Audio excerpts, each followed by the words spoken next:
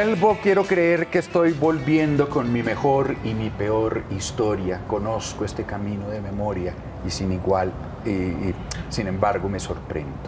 Pero igual me sorprendo. Poema de Mario Benedetti. Vuelvo. El, el, regreso, luego de un exilio, ese poema lo revivimos, lo recitamos cuando veíamos llegar a Ida Abella en el aeropuerto El Dorado de Bogotá, eh, abría sus brazos y se encontraba de pronto eh, con miles de amigos y parecía repetir aquel poema, esos, versos que decían, eh, me fui menos mortal de lo que vengo, ustedes estuvieron, yo no estuve, pero en este cielo hay una nube y es todo lo que tengo. Y decía, me pierdo en los nombres y confundo la lluvia con el llanto. Luego, Aida Bella fue proclamada por la OP como candidata presidencial del partido, de la OP. Y ella, que había anunciado que venía solamente a un congreso con una deuda también política que tenía con los amigos que se quedaron, de pronto le están diciendo, señorita, usted no se nos va, usted se queda acá. Y ella parece que está dejando seducir por ese tema. Aida Bella, un placer, qué rico tenerla con nosotros. Entonces le tengo cafecito y té. ¿Cuál de los dos? Un cafecito. Un cafecito, un cafecito. Aida, hola, ¿qué tal? Uno por allá tiene que tomar tinto, café colombiano. Muchas gracias por invitarnos, de verdad, y tenerlos aquí y poder eh, refrescarnos en, en estos programas, porque pienso que efectivamente nosotros nunca nos fuimos. Vivimos en otra parte, pero nunca nos fuimos del país. Y siempre con la patria adentro. Era un, como un dolor, como dice Mario Benedetti, un dolor y un descubrimiento. Y tal vez el dolor eh, tuvo un matizado por todo lo que descubríamos y aprendimos. Y aprendimos muchas cosas. Aprendí una niña de tres años que sacaba del colegio. Fue mi mejor, mi mejor profesora de francés.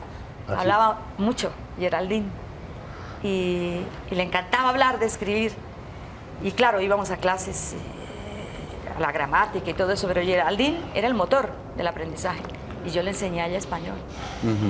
Entonces, intercambiábamos la lengua, pero ella tenía una abuela italiana. Y cuando regresaba de vacaciones, entonces ella me trataba de enseñar italiano. Y un día el papá, sus padres estaban separados, y un día el padre la encuentra cantando en español y dice, Geraldine, ¿quién te enseña español? Y me dice, pues Aida, porque yo le enseño francés e italiano. Era un, intercambio muy lindo y aprendimos muchísimas cosas. Nos dedicamos al trabajo internacional. Estuvimos siempre presentes en la Comisión de Derechos Humanos durante 17 años de la ONU. Hice la representación de la Federación Sindical Mundial en Ginebra. Trabajaba para comer de 5 o 6 de la mañana hasta 1 de la tarde. Luego hacía un descanso de almuerzo y a las 2 estábamos ya trabajando por Colombia. Era como una división. Vivíamos por la mañana en Suiza y por la tarde en Colombia. Entonces entrábamos a todo el problema de los derechos humanos, a la Organización Internacional del Trabajo. Eh, estábamos pendientes de lo que estaba sucediendo en los otros espacios, en el Parlamento Europeo, pues necesariamente todo sobre Colombia. Y bueno, la Federación Sindical Mundial también eh, ayudando a, los trabajadores del mundo, los problemas que había en Nigeria, los problemas que había en Filipinas, los problemas... Es decir, nos llenamos del mundo y también aprendimos demasiado. Y fue un constante y permanente aprendizaje. Entonces conocimos cómo se mueven las entidades internacionales, la Comisión de Derechos Humanos, todo lo que se hace allí en derechos humanos, pero también participamos muchas veces en la parte de política y en la parte económica es decir, cómo frente a los grandes problemas del mundo, pues teníamos una posición como Federación Sindical Mundial o como la Federación Internacional Democrática de Mujeres, de la FEDIN, fui su representante en Ginebra dos años. Y estábamos también de lo que sucedía aquí, pero también de lo que sucedía en el mundo entero. Precisamente, ¿y cómo se sentía Colombia en esos 17 años de exilio? ¿Cómo veías al país desde allá, desde, esas, desde esos fríos suizos? Eh, ¿cómo, ¿Cómo veías al país? Bueno, pues eh, es increíble que uno desde allá, y yo me decía, aquí tengo más espacio y más tiempo para leer todos los periódicos. Entonces leía, por ejemplo, El Heraldo de Barranquilla, El Pilón de, de mm, Valledupar, leía La Opinión de Cúcuta. Vanguardia de Bucaramanga. Eh, Vanguardia de Bucaramanga. me, me impresionaba siempre las noticias de la provincia y las noticias de la capital. Por supuesto que leía El Espectador, eh, leía El Tiempo, leía Semana, eh, fundamentalmente. Entonces uno tenía la imagen de lo que estaba sucediendo, todas las cosas en Cúcuta, en Cincelejo, en Barranquilla, pero también eh, el análisis que hace Semana, el espectador, todo. Y yo decía, bueno, aquí, como estuve en tantas cosas tan, tan activas, el movimiento sindical, después el consejo, el trabajo que lo absorbía uno, pero ya tenía un poco de tiempo de reposo, pero también muy doloroso cuando veía uno que sucedían cosas y que uno no podía estar. Pero bueno, estábamos en otro espacio y hacíamos cosas en otro espacio. Sí. Y ahí David Abella regresa, que entre otras cosas es con V, que se escribe Sí. generalmente. Con V, pero como los apellidos no tienen ortografía, pues Pues sí. ¿no? que la escriban con B o con V, da lo Es lo mismo, mismo. ¿no? Exactamente. Y ahí David Abella entonces regresa, y regresa en un momento político muy importante. Usted se fue en un momento en el que todo parecía oscuro, sin esperanza, sin luz. Un momento en el que todavía le faltaba a Colombia la llegada de muchos fracasos. Ocho años después, en medio de un gobierno que usted ya mismo lo calificó. En ese momento era concejal de tiempo, exactamente. Sí, sí. Y usted se va y no había en ese momento un futuro para la paz. Y regresa cuando hay por allá una velita en el horizonte. Y regresa y acepta una candidatura presidencial. Y regresa y encuentra también a la izquierda también muy dividida. Panorama de la izquierda que encuentra ahora Aida. Pues muy lamentable y también doloroso, porque si se ha hecho algo dentro de la izquierda es esos intentos de unirnos, pero también inmediatamente se desvanece. Y, y- y yo no sé, no me explico, porque de todas maneras, eh, habiendo creado el polo y con tanta ilusión y todo esto, pero bueno, las cosas se dieron y son así, y hay muchos sectores ya por fuera, y, y bueno, que uno dice, de todas maneras hay que hablar, hay que hablar, porque si pudiéramos hacer otro intento de unidad, eh, eso nos permitiría avanzar con mucha más fuerza. Hay que hacerlo, hay que intentarlo nuevamente y si hay que hacer otro reintento, hay que hacerlo. Pero efectivamente el país necesita otros planteamientos, necesita airear la democracia, necesita otra forma de hacer política, necesita eh, dejar todo esto que uno ve en el ambiente, ese enfrentamiento y esa, esa intolerancia tan terrible. Pelea el propio gobierno, la Contralora, entonces pelea contra el fiscal, la fiscal contra la Contralora, el procurador contra Petro, Petro contra el procurador. Entonces encontramos también que el expresidente pelea con el presidente. Todo es un país como, como dándose un poco todos contra todos. Y eso es muy lamentable, donde hay que unir esfuerzos para poder sacar al país de donde está. Yo a veces me preguntaba, bueno, un país que ha durado tantos años en la guerra, es que llevamos desde 1812, entre la guerra entre los federalistas y los centralistas, que después se deriva en la guerra de los liberales y conservadores. Es que nosotros tenemos cosas tan Guerras impresionantes. ¿no? Mitad. Impresionantes. Es que nosotros, los de esta generación, no conocemos lo que es la paz. Y, y hablo de mi bisabuelo, que me contó cómo él peleaba en la banda de los liberales en la guerra de los mil días. Y su hermano Marcelino peleaba en, en el bando de los conservadores y llegaban a la mesa y se sentaban a comer. Es de los recuerdos más lejanos que tengo de mi infancia. Yo no había entrado ni siquiera a la escuela. Y después, mi abuelo nos cuenta el espacio de la guerra, las, las peleas entre los pueblos liberales y conservadores. Y después mi padre nos cuenta todo el problema del 9 de abril.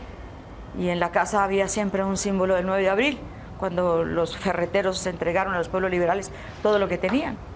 Aida, mire, en, en- en la, en la cosa precisa que nos ocupa y es que usted está acá maravillosamente de regreso al país y a la actividad Muchas gracias. política y a la Unión Patriótica y a la candidatura presidencial, pero en, el, en ese sector importantísimo de la izquierda, ante el ocultamiento, digamos, no la desaparición de la Unión Patriótica, la prueba es que usted está acá, eh, surgieron nuevas fuerzas. Es decir, eh, el Partido Comunista, que es el origen histórico de alguna manera de todo ese sector de la izquierda, eh, participó del Polo Democrático Alternativo. surge un movimiento de carácter rural, pero totalmente intrincado con la realidad nacional, inclusive la realidad urbana, como la marcha patriótica. Al, al- paralelamente pues a las negociaciones de paz en La Habana. Está también el mismo Partido Comunista, que veo que de alguna manera está en la UP relacionado, porque Jaime Caicedo está allí.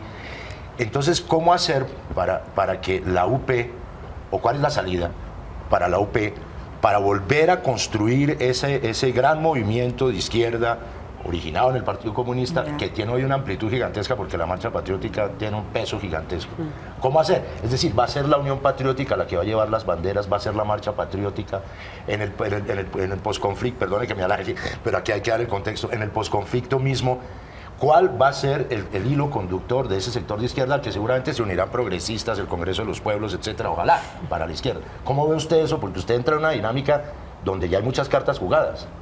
Sí, pero yo pienso que yo estaba muy alejada de todas esas cosas, de las peleas, peleitas, eh, cositas chiquitas. Y lo que hago es un llamado a que, a que nos sentemos, a que miremos y a que avancemos. Ahora, si ese fue el sentido de la creación de la Unión Patriótica, por eso tuvo tanto éxito. Porque a la Unión Patriótica hace 28 años llegaron gente del Partido Conservador que estaba cansada de ese partido. Llegó gente del Partido Liberal que estaba cansada. Por ejemplo, Octavio Sarmiento, que después no lo asesinaron, fue representante de la Cámara por Arauca. Eh, llegó mucha gente sin partido, que decían, bueno, pero estos hablan otras cosas. Y, y llegó a constituirse en la tercera fuerza política del país. Eso es cuando me encontraba con los compañeros después de 17 años, 6 meses, 4 días, y encontraba el mismo entusiasmo, yo dije, aquí eh, hay un compromiso político muy grande. Pero, perdón, y es eh, ese, sí, de usted tratar de unir todas las fuerzas. Sí. Por ejemplo, con la marcha patriótica, Eso, pues bueno, hay, hay Porque conversaciones. es una, es una coincidencia eh, muy positiva, pero también es un problema porque el nombre de la UP pesa y la marcha contemporáneamente pesa. Entonces, se van a unir, la marcha, el hilo conductor va a ser la Unión Patriótica. ¿o la- Bueno, eh, tenemos un, un, eh, ¿qué digamos? Como un enclave Sí. en este momento y es la personería jurídica. No teníamos personería la jurídica, la tiene la Unión Patriótica. que es una carta grandísima. Bueno, pero eso es lo de menos. La Unión Patriótica en este momento podría jugar electoralmente porque tiene herramientas.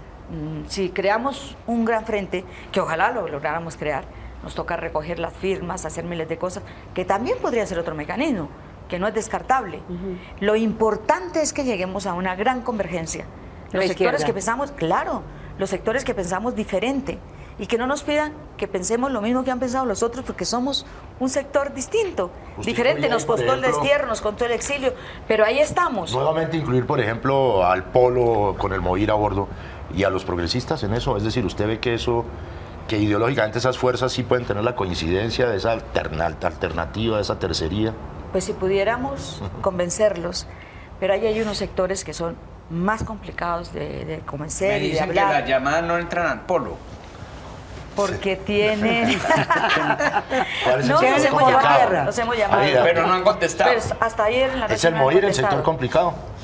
Pues bueno, ese puede ser uno de los eh, que representa eh, dificultades para convencerlos. De unidad. Yo creo que no es que sean complicados, o, pero de todas maneras es más difícil. Pero bueno, ahí hay otros sectores. Y hay gente que ya no está en el polo y que nos ha llamado y que nos ha acompañado y que están interesados. Por ejemplo, el caso de Iván Cepeda, que sigue en el podo, pero que de alguna manera en sus orígenes eh, está su propio padre inmolado en López. ¿Cómo ve usted eso? O sea, uno, uno entendería que naturalmente Iván tendría que hacer parte de la Unión Patriótica, o no, o ya todo se ha movido tanto que... Bueno, pues eso es una decisión de él. Ya. Porque efectivamente eh, tiene, tiene un bagaje ya hecho también en el polo. Claro. Ya ha incursionado en varios periodos electorales. Es el mejor representante de la Cámara. Como Robledo es ¿Se el queda senador, en mi, en mi modestísimo concepto. Pero esos mejores tenemos que duplicarlos, tenemos que triplicarlos. Ese es el gran reto. ¿Cómo hacer que los mejores Sean más. sean mucho más? Sean más. Pero ahí hay un problema, Aida. Yo, yo veo un problema y es el de la ley. Porque la ley dice, si usted es del polo, no puede irse del polo para otro partido. En este Sí. caso será para la Unión Patriótica. En el caso, por ejemplo, de Iván, en el caso de, de Robledo, eso les impide de pronto tener acercamientos por esa ley. También uno podría pensar que los progresistas pues les quedaría un poco más fácil porque son movimientos y, y no tienen problema. Pueden moverse, sí. Ah, exactamente. ¿Hasta dónde esa posibilidad? Aquí un amigo mío me escribe y dice, podríamos formar el gran polo patriótico. Y Increíble. increíble. Exactamente. No se me había ocurrido, pero es que la gente tiene una cantidad de ideas. Sí, es una idea. Cativa. Alejandro Sí. Rivera me escribe y dice, podríamos formar el, el gran polo patriótico. Es decir, uno, uno ve que de pronto esa dificultad puede llevar a que, a que esa unión no sea tan fácil. Pues bueno, yo pienso que, que estamos un poco contra el tiempo, ¿no? Sí. Y que hay que actuar muy rápidamente. Eh, por eso me aterra que no contesten las llamadas. Hombre, eh, Pero estamos, estamos, Sí, son estamos más en una cosas que carrera. los un- que los claro, unen, dice muchísimas. Son muchísimas más. cosas las que nos unen que las que nos separan. Pero cómo eh, llegar a armar el engranaje necesario para que seamos un, un polo patriótico, de verdad, que me Mire, llama mucho la atención. ahí- ahí- Pero bueno, independientemente del nombre, Sí. un gran frente amplio, bueno, qué sé yo, independientemente del nombre que se use, eh, si se logra constituir un gran polo, eh, digamos un gran frente de la izquierda, pues nos toca empezar de cero. La para. Ahí hay, ot- ahí hay otro problema que es de carácter casi que numérico también. Los dos, eh, los dos partidos tienen la personería, tanto la Unión Patriótica como el Polo. Entonces el Polo dirá, no, pues yo tengo la personería, pues yo no necesito eso. Pero viene el problema de- del umbral, es decir, los cálculos, usted lo sabe muy bien, conducen a pensar que se necesitarían 450 mil votos para poder permanecer como partido y para poder obtener curules. 450 mil del Polo, 450 mil de la UP. ¿Es posible eso? Bueno, Es decir, pragmáticamente, Sí. ¿es posible eso? estamos hablando con el gobierno, ya- de hecho ya tuvimos una primera reunión con el ministro del Interior, porque a un partido que lo han diezmado, como han diezmado el nuestro, Sí. 5.000 asesinatos, tenemos 6.500 casos en la Comisión Interamericana de la OEA. Es el caso más emblemático en la historia de la Comisión Interamericana. Eh, es eh, alucinante que un país que se llama democrático pueda hacer cosas más terribles que lo que hicieron las dictaduras del Cono Sur. Pero eso está ahí plasmado en la justicia y en los, en los esquemas internacionales. ¿Qué es lo que hemos propuesto al gobierno? Solamente, ¿qué le la hemos propuesto al gobierno? todos los a demás nosotros, muertos. A nosotros no nos pueden exigir ningún umbral. A nosotros nos quitaron la personería jurídica en el 2002 y en ese momento la Constitución Nacional hablaba, hablaba de 50 mil votos. Lo que ha hecho el Parlamento es un regreso al Frente Nacional y tal vez atrás. Eso es una vergüenza política. Eso que han hecho de poner esos umbrales para que solamente los partidos grandes estén. Francamente retrocedemos en la historia. Es que este país es así, da un paso para adelante y tres para atrás. Y esto lo estamos planteando el gobierno, ¿por qué? Porque si no, nosotros no alcanzamos el umbral, de eso somos muy conscientes, pero, pero perdemos otra vez la personalidad jurídica. Entonces, Claro. ¿para qué nos la dieron? Nos diezmaron, nos mataron, es un genocidio político, es un genocidio que lo han hecho ya todo el mundo sabe, los dueños del poder, etcétera. ¿Y por qué no aplicarnos lo que estaba en la Constitución? En el momento en que nos suspende la personalidad jurídica. Es más, nosotros ya en todo el proceso de reparación, esto ya es en la Comisión de, eh, Interamericana de Derechos Humanos, en la OEA, en las diferentes sesiones, lo que se ha pedido es, claro, es una reparación integral, pero necesitamos conocer la verdad, primero que todo, una reparación integral. Y dentro de la reparación integral Sí. está la devolución de las curules que en el momento más grande de la Unión Patriótica 14 teníamos. Se tenían. Sí, pero eso hace parte ya de la demanda, eso no hace parte de ahora. Eso es una cosa que tenemos ahí para la reparación integral. La reparación integral, la verdad y la justicia. Nosotros no tenemos ninguna, ningún, ningún interés en otra cosa que en conocer y en hacer justicia. ¿Cuántas curules en, en ese momento? 14. 14 curules. sí. Bueno, Aida, eh, ¿cómo ve hoy a las FARC? Pues yo las veo en disposición de llegar a un acuerdo. Y eso hay que decir que es una cosa muy positiva para el país. Y veo también que este gobierno ingresa a, a un proceso que a lo mejor no se hubiera vislumbrado hace tres años, cuatro años. Y yo creo que también es interesante. Es decir, si hay un gobierno que abre las puertas, está bien. Sí. Me preocupan los enemigos de la paz. Sí. Claro. Me duele que, que alguien Ahí, que ahí hay estuvo cafecito, eso es para tomar. ocho años en la presidencia, que llegó a la presidencia con el esquema de la victoria militar, que después de ocho años no tiene la victoria militar, los problemas continúan. Luego llega otra persona que dice, bueno, vamos a abrir otro espacio, el del diálogo, pero torpedeado por quienes, por quienes no pudieron lograr una victoria militar. Es completamente absurdo. En la política eso es absurdo, es incivilizado. Sí. Y esas cosas, pues necesariamente hay que ventilarlas, porque bueno, se sienta la insurgencia por primera vez en la historia, se llega a un acuerdo en dos puntos. Hemos avanzado, lo que no se puede pedir son fechas, calendarios, horas. Mira, los procesos de paz en el mundo entero, yo creo que el que menos ha durado ha durado tres años, pero hay procesos que han durado 14, hay procesos que han durado 21 años. Los irlandeses duraron ocho años. Los surafricanos. En Sudáfrica, ¿qué pasó? Pues el feroz guerrillero que era eh, Nelson Mandela, del Consejo Nacional Africano, que se alzaron en armas porque estaba el apartheid. Pues hombre, lo primero que hizo el gobierno de Klerk cuando la ultraderecha, la ultraderecha de, de Sudáfrica dice, bueno, esta cosa vamos a tener que acabarla. Tenían una presión internacional muy fuerte, por cierto, contra el apartheid. Y empiezan por sacar a Mandela de la cárcel. Porque Mandela se negó a negociar en la cárcel. Dijo, no quiero negociar en la cárcel. Esto sería una traición para mis, para mis, eh, mis seguidores. No voy. Lo sacan de la cárcel y empiezan a desmontar las leyes del apartheid. ¿Y qué pasa? Llega un momento en que Leclerc dice, bueno, vamos a hacer una cosa. Vamos a sacar el apartheid y vamos a elecciones, lo que el pueblo quiera. Y el pueblo quiso que los negros estén en el poder y desde entonces están en el poder y no lo han hecho mal. Aida, mire, volviendo al tema que Ma- Mauricio eh, introduce de, de las FARC, eh, hay dos cosas contextuales importantísimas. Una, que justamente la Unión Patriótica, recordando por ejemplo a Bernardo Jaramillo, había implicado un deslinde y un distanciamiento de la combinación de formas de lucha desde entonces y de una vocación por la paz. Sin embargo, lo matan, los persiguen, etc. Eso por un lado, una distancia ahí.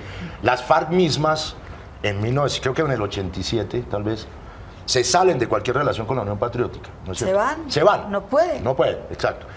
Ahora, cuando se, estamos en el contexto del proceso de paz y teniendo en cuenta esos antecedentes, las FARC van a estar en un momento a través de, de lo que sea, es decir, a través de elecciones abiertas o a través de, lo- de la- de las, de las circunscripciones electorales específicas de las zonas de, de orden público, van a estar allí. ¿Usted siente que en ese tránsito que se va a dar, podrían regresar las FARC desmovilizadas, desarmadas y con su vocación de paz a la UP? Eso es una decisión de- del movimiento insurgente que está en este momento en la mesa. Yo creo que ellos están pensando más en un movimiento distinto, tan respetable. De todas maneras, Que ni entrarán siquiera a sea la la vida. marcha patriótica tampoco, o una Pues- elaboración entre todos. Pues no han, yo creo que no han alcanzado a elaborar todo eso. Sí. Pero lo que sí es necesario entender es que la gente que ha hecho de alguna manera política en esa forma, porque también han hecho política, y hacen parte del, del paisaje colombiano, digámoslo así. Y tienen bases que lo siguen también. Pues claro, es decir, ellos van a decidir qué van a hacer. Lo que creo yo es que en el próximo periodo electoral, pues simplemente nosotros nos vamos como Unión Patriótica, ellos están allá en su negociación y que la hagan, y que la hagan, por Dios, y que los dejemos también trabajar al gobierno y a la insurgencia, eso está divinamente. Nosotros seguimos por nuestro lado con la Unión Patriótica, mirando a ver qué podemos hacer, si podemos hacer una, un frente amplio, si podemos reunificar la izquierda. Pero en el inmediato posconflicto las confluencias son evidentes, ¿o no? Sí, pero no, pero mire, es que no podemos decir todos los acuerdos van a estar antes. Mm. No, eso no lo podemos Hasta que no predecir. esté acordado. Nadie, nadie, nadie lo puede predecir, ni el propio gobierno, yo creo que ni la propia insurgencia. Pero hay que dejarlos trabajar. Mire, están haciendo un ejercicio por la paz. Y ese solo ejercicio por la paz merece el respaldo de los colombianos. Merece que, hombre, la próxima generación ojalá pudiera decir, oiga, esos pudieron arreglar Estos este se dieron país. la pela. Eso se Estos dieron. se dieron la pela. Sí. Mire, qué bueno, al fin al fin una generación pudo hacer esto, si no, nos lo van a cobrar históricamente. Ay, ¿por qué candidata presidencial y y no, por ejemplo, eh, eh, cabeza de una lista al Senado tesa y dura y triunfante? Bueno, Recojo cosas que están Sí. diciendo los, los- los televidentes. sí. Bueno, yo creo que de todas maneras tenemos gente muy buena para, para el Senado, pero extraordinaria. Y, y creo que podemos ayudar incluso a que nuestros candidatos al Senado, que todavía no está conformada ¿Qué la lista, en definitiva, ¿Qué lista porque estamos mirando una lista en la cual hayan sectores que no son solamente la UP, sino que haya otros sectores. De movimientos Entonces, sociales que han claro, salido de movimientos sociales, de, de todo, y que, que puedan verse reflejados en un espectro muy, muy bueno. Es decir, muy, mire, aquí están los unos, están los sindicalistas, aquí están los otros, Sí. y que, que- que esa fue realmente eh, La conformación, la base, eh, la base sí, hace en 28 principio. años de la creación de la. Unión Patriótica. Eso sería muy bueno, de pronto o personas progresistas que no tienen partido, pero que son excelentes intelectuales, por ejemplo, gente del arte, eh, hasta propios periodistas que han pensado distinto y diferente y que no pertenecen tampoco a la Unión Patriótica, pero que puedan hacer parte de nuestra lista. ¿Por qué no? ¿Por qué no presentar? Yo esta mañana estaba pensando en el doctor Mocus y decía, bueno, pues es una excelente que se presente Mocus, que de todas maneras tiene otra, otro comportamiento frente a la política. Y acaba de decir en el, en el, tri- parece en, el- bueno. en el Twitter que él todavía no es candidato de ningún partido. Claro. Acaba de decir. Sí. Claro, él es eh, una corriente y es tan respetable, Sí. porque de todas maneras hizo un gobierno diferente en el distrito. Él no pertenece a la izquierda, qué sé yo, muy respetable su posición política.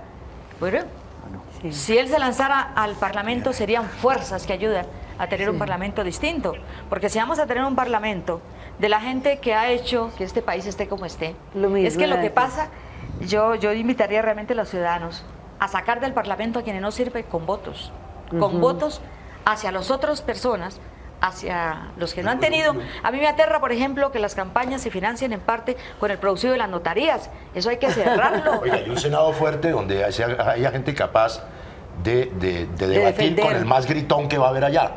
De lo que el señor Álvaro Uribe que va a No, estar gritando. eso sí es lo más lamentable de este país. Anoche me preguntaban, ¿qué opino yo de que el, el el expresidente encabeza la lista de Senado? Pues francamente esto sí parece Eso no una se ve por república allá donde usted vivía, ¿no? No, No. es que lo más sano, lo más sano, es que si estuvo tan, tan dirigiendo el poder, hombre, ¿por qué no permite que otros ciudadanos lleguen y que otro estilo llegue? Porque es que se trenzó el país, es que te rompo la cara, es que toda una serie de cosas que empiezan a ser casi que, bueno, si el presidente dice eso, ¿por qué? Pero mi también vecino otras voces no me viene- ¿Por qué no le puedo romper yo la cara marica al al de al lado sí, y, y considerar al otro como enemigo y, Y, odiar? eso no es posible. Yo creo que tenemos que, que ventilar otro estilo de política. Ahí, y ya, ya en su condición de precandidata presidencial por la UP y teniendo en cuenta que la UP también tuvo dos candidatos asesinados, hay miedo en esta campaña que se avecina, que usted va a empezar a, a liderar, no sé si en el país, no sé si afuera. ¿Existe esa prevención? ¿Existe Claro, ese miedo? claro. ¿Cómo se siente? Claro que existe la preocupación, es normal. Y con ese ministro de Defensa que tenemos, pues más. Porque es un ministro que todos los días dispara guerra. ¿Y usted cómo interpreta eso? Es que, es decir, esa, eso no, yo por lo menos no lo he podido armar a ver si usted me ayuda. Un ministro bombardeando el proceso de paz, que es precisamente una de las grandes políticas de su gobierno.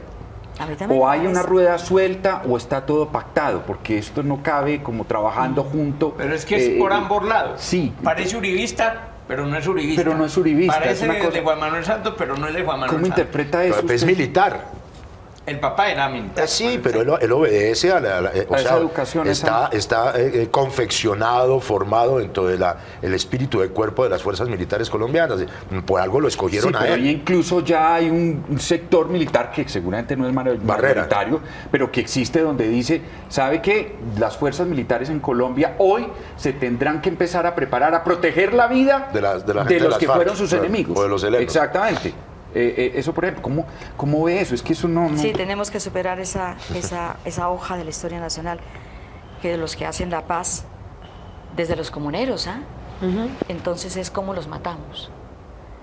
esa página hay que superarla. Yo creo que las fuerzas militares, y de verdad que hay que hacerles un llamado también a los militares, es decir, tenemos que refrescar la vida política en el país, en la cual también están inmersos ellos. Entonces, no podemos seguir con todas las doctrinas que les han aplicado.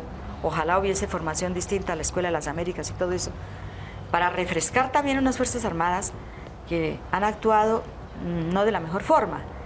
Y yo pienso que dentro de las Fuerzas Armadas hay sectores democráticos también, que piensan diferente, que de pronto esa asfixia de las orden, orden y mando y todo eso, pues impide que se expresen, pero que de todas maneras a mí me parece que hay una gran incoherencia de parte del gobierno. Eh, unos ministros o un ministro que jalona la guerra y otros ministros que están por la paz. Pero yo tampoco tengo una interpretación clara de eso. Sería el gobierno que tendría que decirnos por qué mantiene un ministro de esa, de esa calidad. ¿Por qué juega dos bandas? Sí, ¿por qué? Ya usted le, le envió cambiando de tema la hoja de vida abierta al señor procurador, como usted dijo, a ver por qué me va a investigar. Pues es que también me preocupa mucho la actitud del, señor procurador.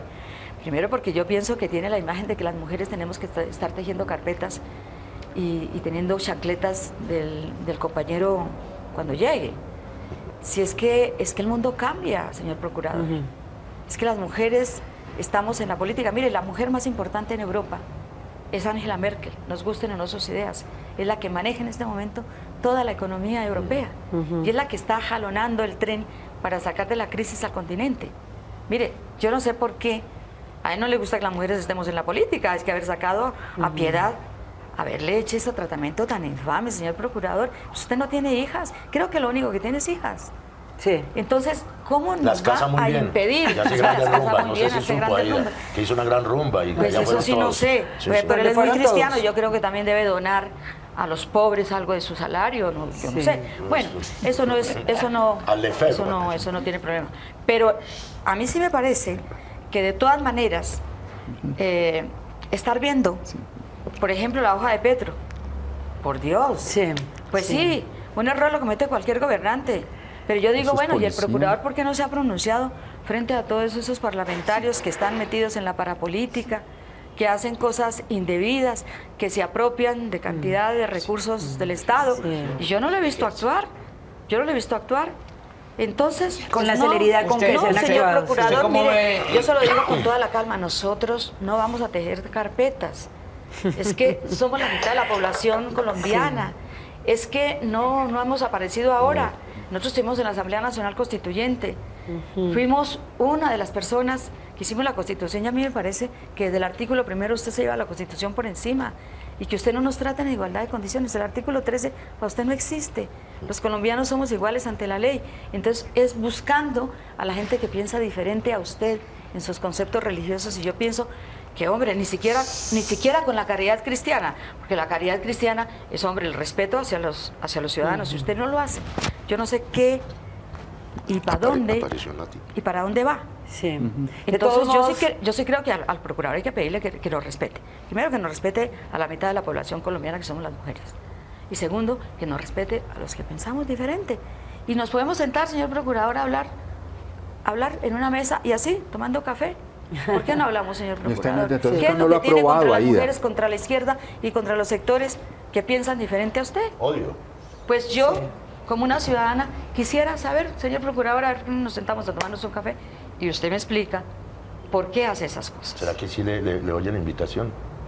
Pues yo no sé. Pues hasta chévere, todo lo que sea sentarse y hablar. Pues, yo no sé, pero de verdad que sería bien interesante. Si uno habla con los periodistas, si habla con la señora que hace el mercado, si los vecinos, si la señora del hotel, pues sí. No ha hablado con Clara. No, ha hablado con Clara. pero hay que se le extiende la invitación a un café Personalmente no le he llamado, pero los compañeros de la Unión Patriótica, porque no tengo el teléfono de Clara, los, ellos son, ellos son, ellos son los que están haciendo los contactos, pues no, no hemos tenido ninguna respuesta. Pero ¿por qué no nos podemos sentar? Es que la vida política hay que refrescarla. Este país está trenzado. ¿Ya este hablado con Petro? Está, mm, no, casi me lo encuentro ayer cuando la cuestión del Guernica, porque estuve en el centro de la memoria que me pareció extraordinario, me conmovió, me conmovió casi que sentí cuando fui a visitar por allá uno de los campos de concentración de la época nazis, porque siente uno que, que está está la memoria de toda la gente que murió por defender sus ideas. Y esto es durísimo. Sí. Aida, cuéntenos un poco de, de- de cómo se desarrolló en ese ambiente que se llevó a cabo en el Congreso. ¿Cómo fue? ¿Qué representación hubo? ¿De dónde vinieron? Eh, nos dicen que también hubo representación internacional, hubo presencia internacional, un poco de ese ambiente que se vivió en ese. Congreso, el. Congreso de la Sí. Unión Patriótica. Fue realmente muy emocionante, extremadamente emocionante, porque era mirar el compañero que vivió en Barranquilla, pero que ya está en Bogotá, ver cantidad de caras del movimiento sindical, de todo, pero además era una cosa entre eh, la emoción y como el volver a empezar, como la esperanza. Entonces, La rosa de la UP. para todos. ¿Se acuerda de la sí, canción? Sí. Sí, sí, claro, la entonamos muchísimo, muchísimas veces, pero además, otra ¿Cómo cosa, dice? nosotros tuvimos 1.298 delegados Wow. de todo el país. Gente que se vino en los buses vendiendo gallinas, eh, ahí estaban vendiendo empanadas, traían el queso y lo partían y, y mire, y lo mismo habían hecho en las veredas y en, y en las zonas. ¿Internacional también? Y también tuvimos representación internacional. Vino uh, un delegado francés, del Partido Comunista Francés, vino uh, un delegado de, de Nicaragua, eh, vino uh, una delegada de Londres que trabaja por Colombia, por cierto, una niña muy capaz y bueno, muy orientadora. Y, y estuvo también mm, un compañero, a ver, se me escapa, de otro país. Pero la delegación del extranjero también vino de los asilados, de los que hemos, de los que habíamos dejado el país. Entonces hubo delegaciones de Suecia, estaba España, estaba Suiza, estaba Bélgica, Wow. estaba, mm, a ver, habían compañeros, ah, bueno, de otros dos países. Y tenemos gente que está viviendo en Australia, que no pudieron llegar por problemas de, de trabajo. poquito lejos. Conexiones, sí, sí. fue- Y un fue- poquito lejos se queda Australia. Mira, eh, asilados tenemos en los cinco continentes. Y esto es impresionante porque todo el mundo siguió trabajando. Su trabajo de bajo perfil, de perfil alto, de perfil de lo que sea, pero todo el mundo trabajó. Y podemos decir que hay países, en- por ejemplo en Bélgica, que lo visité recientemente y encontré que no solamente hay gente de la Unión Patriótica, y algún día tendré la posibilidad de contar una historia la más dolorosa, la más dolorosa que encontré, de hijos de dos personas que mataron y eran ML en Urabá. Los quemaron delante de ellos, los mataron. No eran del EPL, sino del Partido Comunista ML. ML. O sea, gente que no estaba en la guerra. Y sus hijos bajaron a vivir en la calle a Turbo. Y uno de sus hijos, de 13 años, se fue de polizón en un barco cargado de banano. Y llegó el barco y no sabía dónde ¿Llegó a iba. dónde? A Amberes. Y cuando llegó el barco, él salió corriendo y encontró un país que no conocía. Mm. Idiomas, porque allá hablan flamenco, ni siquiera francés. Mm. Y este muchacho lleva a sus otros hermanos, trabajando, estudiando, es electricista. Yo nunca había escuchado una historia tan triste. Y es gente que no era, que no pertenecía a la Unión Patriótica, pero que nos encontramos en el exilio. Dolorosísimo. Y un hombre que fue capaz de decir delante del Parlamento Europeo, a mí esto no me lo pueden reparar. Nunca. Cojan sus millones, cojan mi finca, se la regalo, que el país mío es este. Eso me derrumbó. Nunca había escuchado una historia tan triste. Eran niños y de esos niños nunca se habla. Excusa, Sí, sí. No, pues, Sí. No era mi partido, ni siquiera. pero eran niños. El mayor de 14 años. Y eso es muy doloroso. Excusa. Tranquila, Aida, disculpe. Aida, Bella con nosotros. Eh, ya le voy a pasar más, un Sus poquito una cosa más de- elegante que esa, sus que lágrimas esa son de vida. Sí, sí. Y nos conmueve esas historias que, que a diario estamos, No, la acabo estamos de conocer conociendo. hace menos de un mes. Aida, aquí Hace, sí. men- hace menos de un mes que conocer historias tan tristes de niños que les ha tocado afrontar solo la violencia, solos. Pero hice uno de polizón. Es terrible. Aterrizar en un país donde no lo entienden y tener el coraje de enfrentar, eh, yo creo que la reestructuración de su familia. Es, es muy duro.